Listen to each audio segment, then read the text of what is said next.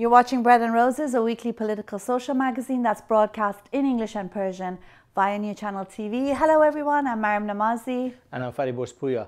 In this week's program, we'll be interviewing Deeyah Khan, producer and filmmaker, about honor killings.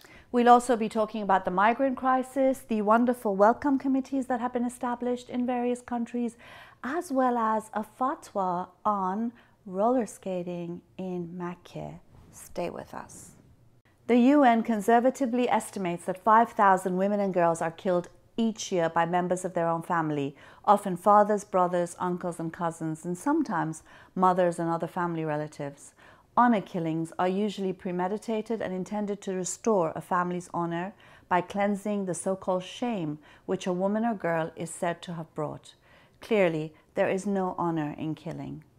Clearly, when we are talking about honor killing, while the woman and girl who's been killed is often seen to be shameful, really, in reality, in any sort of, you know, um, human way of thinking and values, it's actually the killers who should who are shameful, who should be ashamed, and who should be prosecuted. And I think that we've always had this uh, in Middle East, and I think in, in Middle East and North Africa is uh, recognized as a major issue, and people are fighting it. And I think what's happened, we've had that in Europe, suddenly for a period, it was treated as non existent. Yeah, and uh, even so, you had for a very long time courts in Europe giving uh, men, primarily men in families, reduced sentences, but also still in the Middle East and South Asia, men who do commit honor crimes are often given reduced sentences and um, given uh, let go very lightly, basically. Uh, that's true, but I think society broadly, not states, society, not institutions, society, I think general public recognize this as a major issue, and there are a lot of campaigns to uh, actually expose honor killing and um, and get rid of it as as um, a, re, a, a, social malaise, and that's something we need to uh, highlight. Uh, what's happening in Europe and North Africa and Middle East are linked together, so we need to have uh, an international sort of uh, campaign against this uh, um, horrific murder of young girls and women. Yeah, and one of the things is that there are many brilliant campaigns and a lot of wonderful work taking place. One of them is by Deeyah Khan, who did a wonderful film, and it's an award winning film on the honor killing of Banaz Mahmood, a woman in Britain. We're going to show you a minute clip of this fantastic film, and after that, you can hear an interview we did with Deeyah Khan earlier. Don't go away, it is not to be missed. She was a very calm and quiet person. She loved to see people happy. She did not like arguments. She didn't want people raising their voice. She hated it. She just wanted a happy life. She wanted, you know, a family. I'm wondering if you want to speak. Who killed Banaz? You're innocent, then who killed Banaz? Who killed Banaz? People following me, or still now they follow me. At any time, if anything happens to me, it's them. They killed her there just just for for being in love. I mean, sometimes I am thinking why love should be so hated. If she was in my life, my life would be orange and yellow.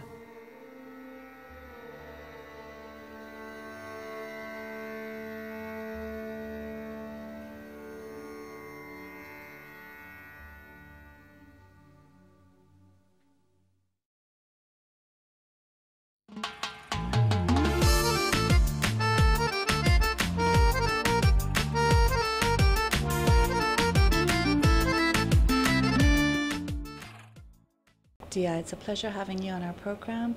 I wanted to ask you about Banaz, a Love Story. It's a film that really had a huge effect on me, and I think a lot of people. How did you feel making it? it was this. The story had a huge impact on me as well. Um, when I first started out making, uh, uh, when I first started out, I wanted to make a documentary about honor killings, and the reason I wanted to make the, the, a documentary about that is I wanted people to understand what it really is, what all the dynamics are, um, in order for people to then react to it appropriately. So, whether it's the police, whether it's the education system, whether it's the health services, anyone on the front lines in a position to help young people at risk, for them to understand better what it is. So I wanted to create this sort of help tool, educational tool for them. And when I first started out, I was uh, actually going to cover several stories. And one of the stories was Banaz's story. And I remember the more I started reading about her, the more I started looking into her case, I just realized that this was the story that I wanted to tell throughout the film. And the reason for that, because actually a lot of my friends and a lot of people have asked me, you know, is it because her story is more brutal than any of the others? Is it because it's more violent, more vicious? And the answer is no, they're all really brutal. They're all really violent and vicious and up close and personal. The reason I chose Banaz is in her story, you, it, it contains all the lessons that we need to learn. But it also, and, and highlights all the problems and all the failures in the system uh, which contributed to her death. But also, it, it contains a part of the solution. And the part of the solution is this woman, Caroline Goode, who investigated her case, as much as Banaz was let down in her life by the police, after her death, she was found by this, this woman. And the reason I'm calling her a part of the solution is this woman, this police officer, cared about this girl beyond in her capacity as a police officer. She said that one of the first times that I met Caroline, uh, I was doing research interviews and we finished, she sort of gave me this very, um, very sort of formal police interview and, you know, explaining, you know, the investigation was like this, and then we did this and we did that.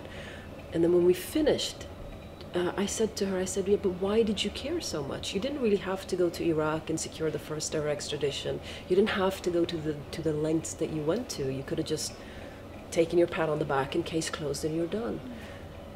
And she murmured, she said, well, you know, it's because I love her. And I just went, What do you mean you love her? She said, Well, you know, I just feel like, you know, she should be loved and, and someone should love her. And her family should have, and they didn't. And so I should, so I do. And I, I just choked up and I, I just realized this is the story I want to tell. I mean, I get goosebumps even thinking about it. This is the story I want to tell. I want to tell not just the horror story, but I also want to tell the love story, not the obvious one of the, the man that Banaz fell in love with, but, the, but this one of this white woman, who police officer, who's never met this kid in her life who can so desperately deeply care and love about this love this young girl. That's what we need. To me that's the solution to everything that we're, we're you know we all care about. It's for people to care.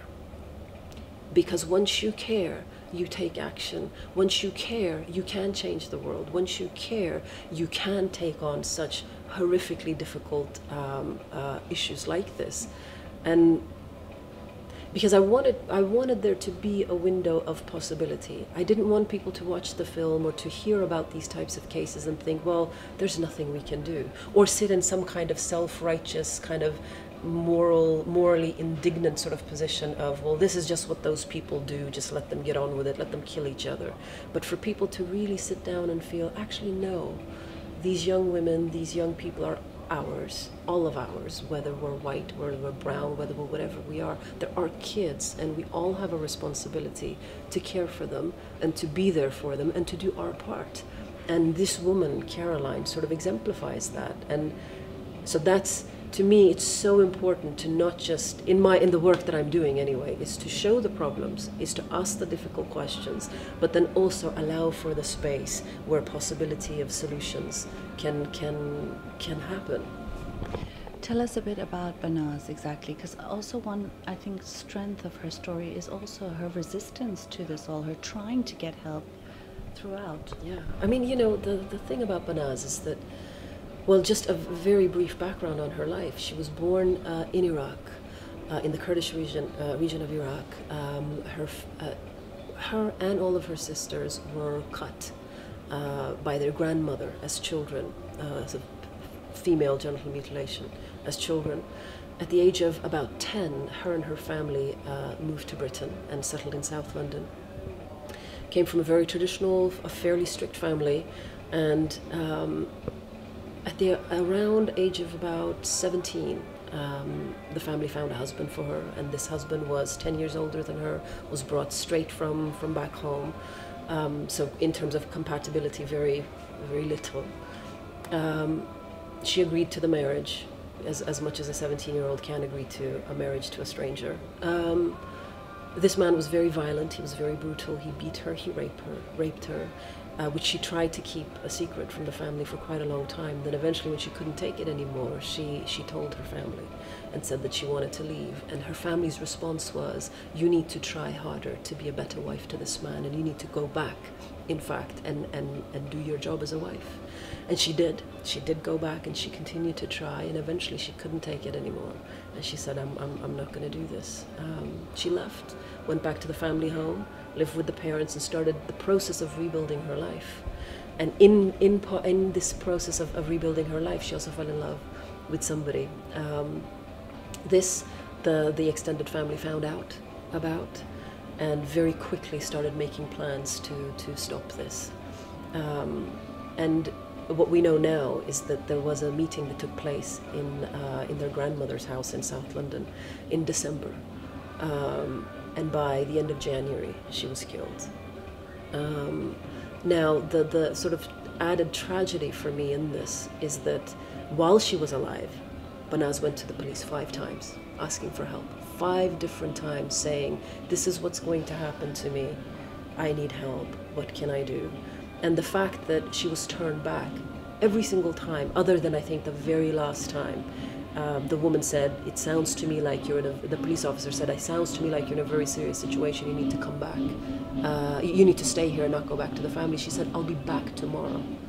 Because my mum's at home and my mum's not going to let anything happen to me. And she never came back because they killed her that night. Um, so to me, you know, not only was Banaz betrayed by her family, and, and then by the silence of the wider community who knew about what had happened to her and never said anything, but also the fact that the society that she lived in, the society that promises us equal rights, equal opportunities, but also equal protection.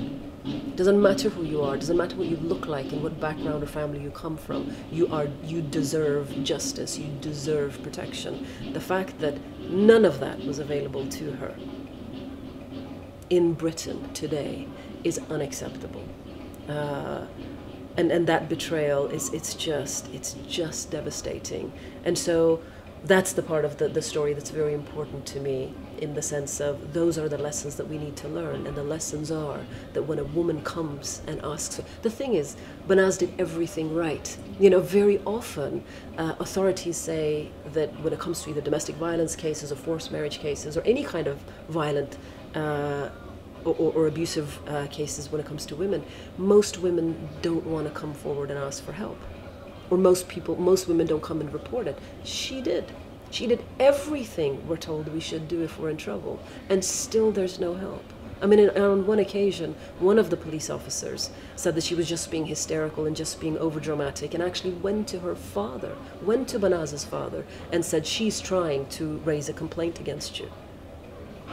And I, I believe that surely that must have accelerated the, the process and the plans that the family are, were already considering. And it's, you know, to me, our young people are on one hand restricted and suffocating within their own communities or their families, and on the other hand, they are not heard, they're not seen, and they're not included and treated as if they are a part of British society fully either.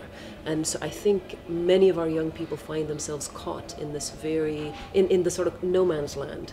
And, and it also makes it, I think, very difficult for some young people and young women, especially, to leave abusive relationships because this is, they are afraid of stories like Banaz as well because they worry that if I go out, will somebody believe me? Will somebody even understand that this does happen and this is real for me?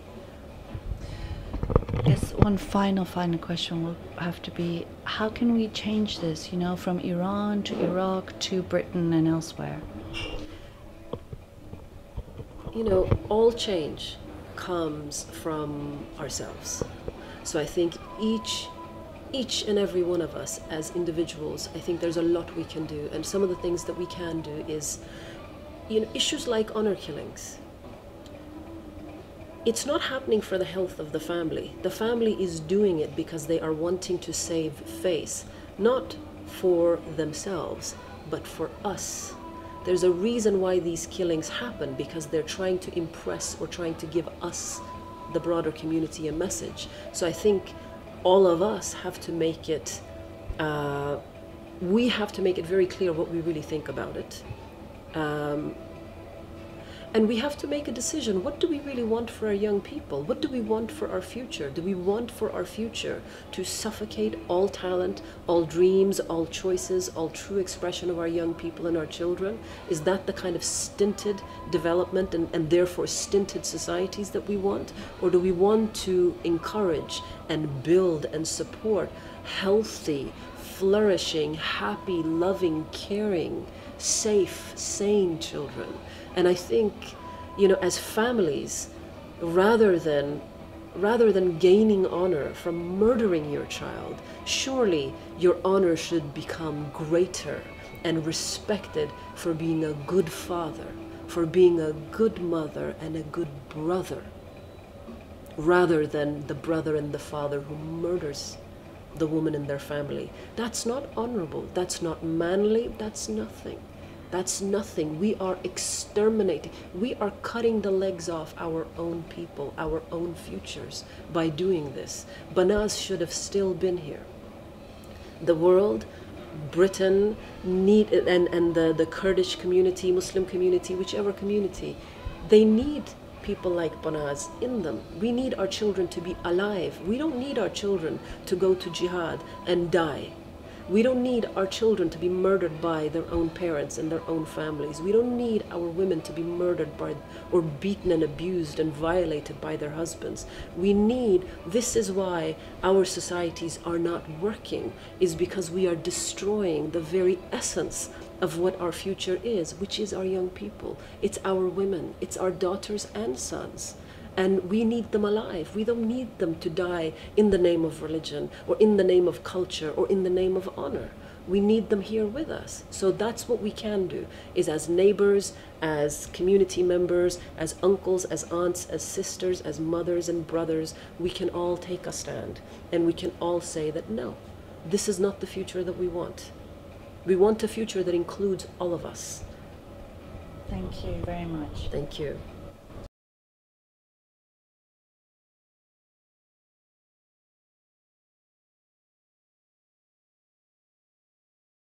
Shocking news of the week is the continued migrant crisis in Europe and across the world. Of course, what has been most shocking and in a way representative of this massive human tragedy is the photo of a little boy, a little child whose body is found drowned on a beach in Turkey. His name is Alan Kordani, and it has, you know, just um, outraged the world and saddened the world, really. Absolutely, and I think galvanized the whole human sort of reaction to this. Um, when you see that picture um, washed to the shore of uh, Turkey, we tried, the family, um, um, father and mother tried to have a better life. They had running away from Syria and the war in Syria. And when you actually see an innocent child, you know, it's washed and face down on, on the beach, it just, it, it, it brings all the pain that are thousands and thousands and millions of people uh, are uh, feeling and the suffering to go through. And it, that sort of showed that picture to the world for everybody to see, and people have reacted to that. I you think know, it's also important because it sort it humanizes the issue. You know, um, the, the problem is that sometimes people only see numbers, large numbers. And actually, you know, when you see one family, the mother's died, two children have died, Alan lost his brother as well. The father, who came with all these hopes and dreams, is devastated. You know, there's, there's no way one can describe how he must be feeling. And in a sense, it just shows the reality for so many people. You know, people on trains, people behind borders, people being pushed back by police but also being uh, welcomed by many people. Yeah, we'll come to that in, in, a, in, a, minute, but I think that capturing of that moment, humanizing in a very tragic uh, um, uh, moment, humanizing the reality of um, refugee. And these are the people who are actually running away from war, from destitution, from poverty, from oppression, from reaction, from religious uh, dictatorship. And people need to see this differently. And I think that uh, we've seen this in, in, in this week, that is shifted and people have come forward. The real humanity is, is trying to show itself. Yeah, when I looked at this picture, it did remind me a lot about my own life because my parents left Iran, they fled Iran so that I could have a better life, my sister could have a better life. And to think that that is exactly what uh, Alan's, uh, you know, father and mother had this dream, and for it to end in this really tragic way, um, it's it is shocking. And I think this picture is going to be an iconic photo of the reality of flights and, um, you know, uh, but also this dream uh, that is broken for so many people.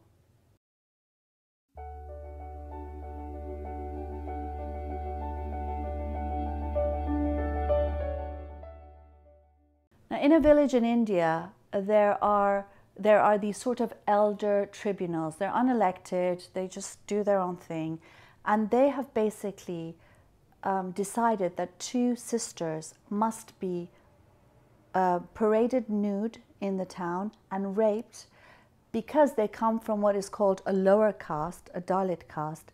Because why? Their brother married someone from a higher caste, and since he's dishonored that family by, by having their daughter marry a lower caste man, their family needs to be dishonored by raping their daughters. The world is going crazy. I mean, this is uh, you know, no matter how you try to explain this, is not comprehensible. You know, we can't comprehend this, uh, these calculations, these stupid, uh, violent sort of arrangements, caste system, and people being paraded and raped in public. I mean, this is not in even in Middle Ages. I wouldn't think these sort of atrocities were committed. But also, what's interesting, even when the man has dishonored, done something dishonorable. It's the sisters that have to yeah. be raped. And again, it goes back to the topic of our program, which is honor killings, and how so much of it is woven with women and control of women, and how women are seen to be properties that can be just raped and sold and bartered as deemed necessary. It needs, uh, you know, we, we need, in the same way that the world now has the ability to uh, come out and protest um, and put an end uh, internationally. I mean, we, we've always said there are certain things that needs to um, be uh, responded to internationally.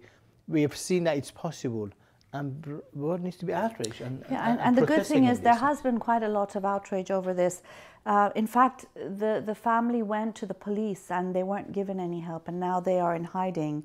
Um, and uh, so, uh, but the good thing is that now the sisters have petitioned the country's Supreme Court, India's Supreme Court. So, uh, you know, that's good news to some extent, uh, but more pressure needs to be put on to make sure that this doesn't happen and these sorts of things don't happen again.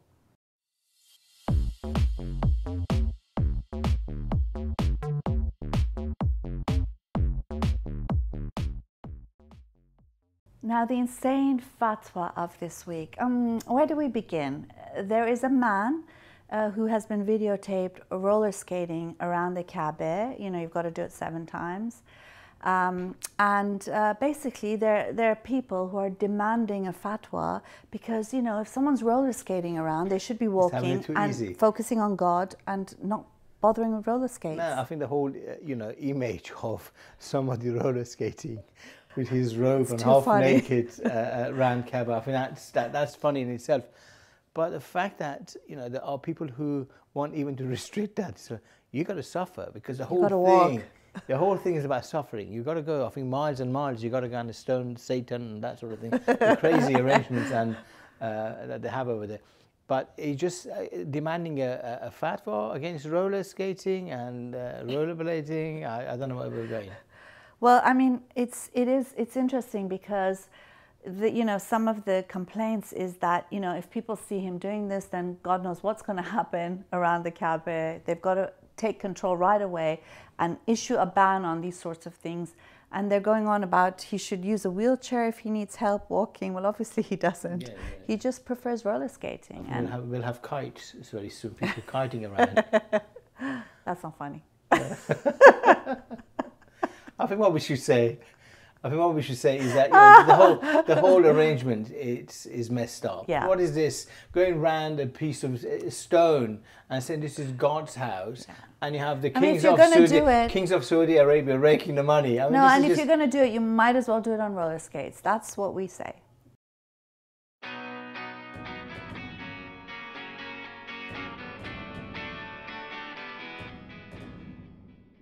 Now, the good news is, of course, these wonderful welcome committees for migrants, for refugees, asylum seekers.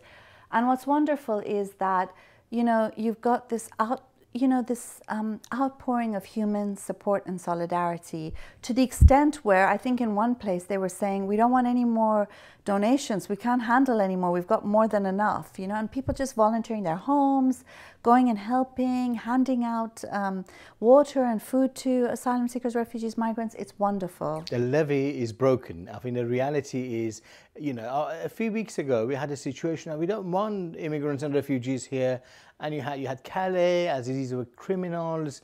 You know, the whole picture that you know papers, right wing papers like the Daily Mail in Britain and Express were portraying was uh, uh, uh, criminals trying to come to the shores of decent sort of Europe. Now we've seen uh, what's happened and people have come out.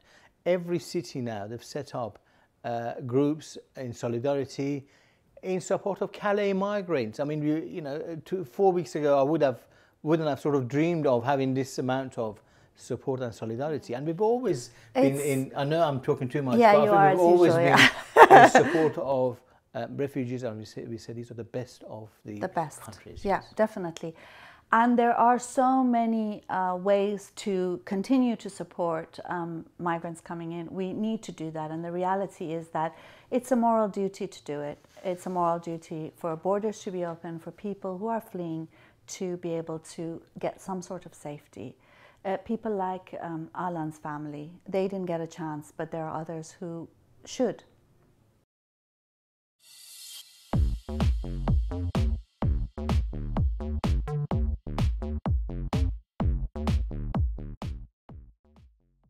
This wonderful photo for this week's Slice of Life is of a refugee in Beirut who is carrying his daughter, selling pens.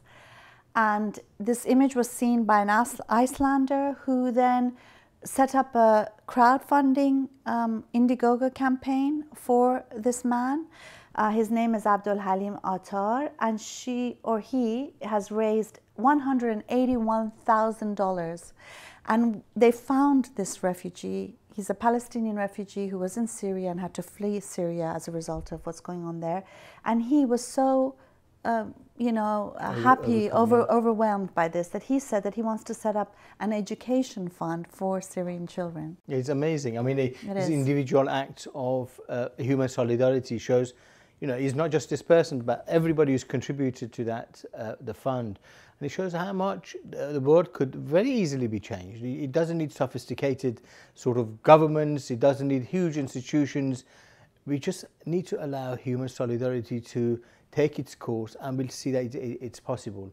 I mean, it's the same way that a family from Sweden went to uh, um, to Greece when they were on holiday. They started supporting refugees and they gave them food, water, um, and uh, you know, and these are sort of great acts that is part and parcel of you know human solidarity, and, And we need to insist on human solidarity. It's part and parcel of, more than uh, ever. We need this. It's part and parcel of being fully human, really. And I think in situations like this, when there are, uh, you know, very um, tragic events that unfold before our eyes, we do see people's humanity coming through, and it's really wonderful to see that. We're reaching the end of our program. We hope you enjoyed this week's program. We want to remind you that we've got a telephone uh, number that you can call and leave a message, and we will try and play some of your messages on our program as well. Yes, absolutely, and that brings us to end of our program, as you said. Until next week, Have a good week. Bye. for Maryam and me.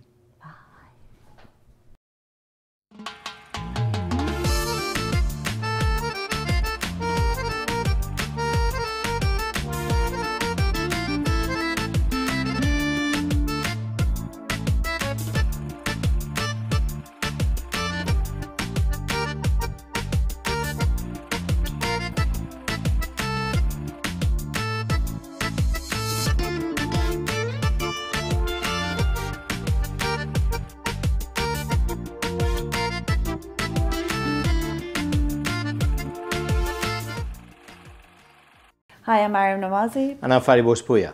We're hosting a program called Bread and Roses. It's a weekly program that's broadcast in Persian and English in the Middle East and North Africa, primarily Iran as well. And it's also shown on YouTube internationally. And we've been doing this since last May. We're coming up to our year's anniversary, and we, Yeah. we've had quite a lot of fun making these videos.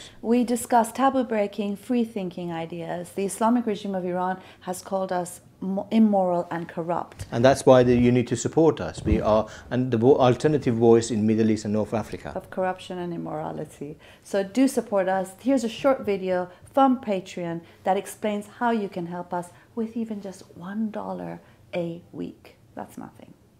Support us. Patreon lets fans become patrons of their favorite artists and content creators. It's different than Kickstarter because it's not about one big project that requires lots of funding. It's more for bloggers or YouTubers or webcomics, anyone who creates on a regular basis. Here's how it works when you become a patron, you're agreeing to give an artist a tip of an amount you set every time they release a piece of content, whether it's a new song, a video, or a recipe. You can set a monthly maximum to make sure that you're always within your budget. Choose an amount, enter your payment information, and you're done. Becoming a patron allows you to view and post in the artist's stream, and in exchange for your support, artists offer additional patron packages, which might include monthly Google Hangouts, music production tutorials, pre sale concert tickets, or anything they can offer as a way to say thanks. Patreon, empowering a new generation of content creators.